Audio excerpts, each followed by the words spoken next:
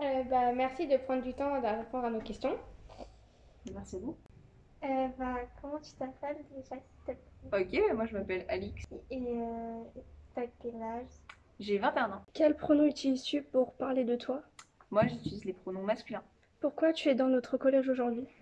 Je suis dans votre collège aujourd'hui pour faire une intervention au milieu scolaire euh, que mon association fait euh, dans les établissements de toute l'île de France.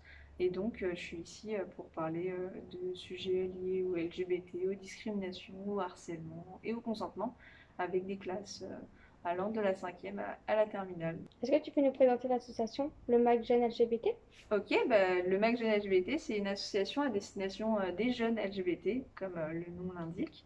Et donc, c'est à destination des jeunes de 15 à 30 ans. Euh, et donc, on a un local dans Paris qui est à, Nation, où on accueille des personnes euh, LGBT ou pas forcément, qui ont besoin euh, de parler, rencontrer du monde, poser des questions s'il y a des questions à poser, faire des jeux de société, etc. Juste passer un bon moment. Et puis, donc, on fait aussi des interventions au milieu scolaire comme on fait, comme je, fais aujourd'hui. Qu'est-ce qui t'a poussé à militer dans cette association?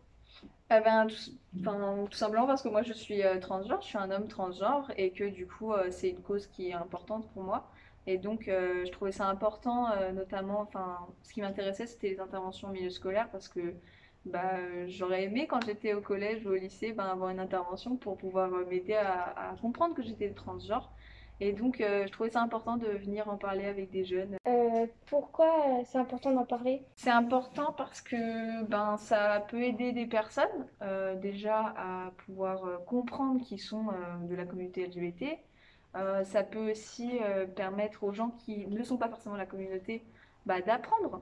Parce que souvent, les, les problèmes que peuvent rencontrer les personnes LGBT, ben, c'est souvent lié à, à des gens qui ne connaissent pas tous ces sujets-là. Donc on est là pour apporter l'information et pouvoir permettre à tout le monde de comprendre et euh, de pouvoir du coup respecter tout le monde. Qu'est-ce que tu dirais à un ou une élève qui est victime de LGBT-phobie Ben, je lui dirais que déjà, euh, il ou elle n'est pas seul, qu'il y a des gens pour l'écouter, que ce soit au sein de, de l'établissement, que ce soit euh, des associations, des numéros, mais peu importe le harcèlement, que ce soit pour euh, euh, les, les LGBT-phobies ou ce soit une autre euh, discrimination, euh, il y a toujours des gens pour écouter.